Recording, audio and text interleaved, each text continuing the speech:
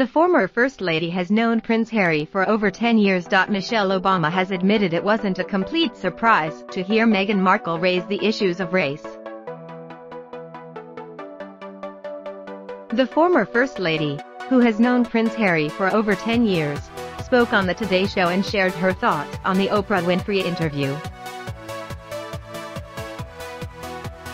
Race isn't a new construct for people of color, so it wasn't a complete surprise to hear her feelings, and to have them articulated, said Michelle.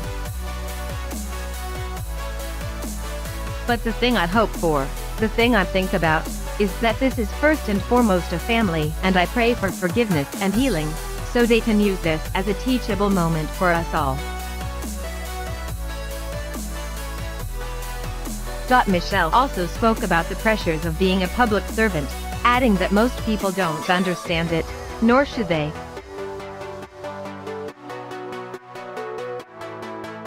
The thing I always keep in mind is that it's not about us in public service, it's about the people we serve.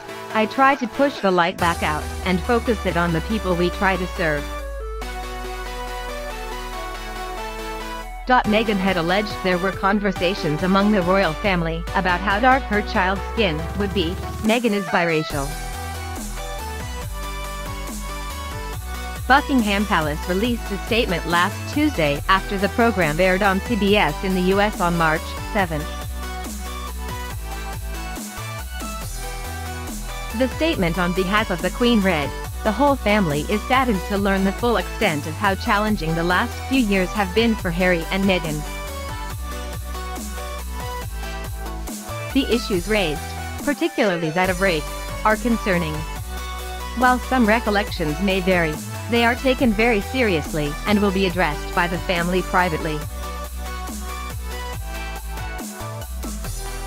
Harry, Meghan, and Archie will always be much-loved family members. The Duke and Duchess of Sussex are now living in Montecito, Santa Barbara with their one-year-old son Archie after stepping back from royal duties in March 2020.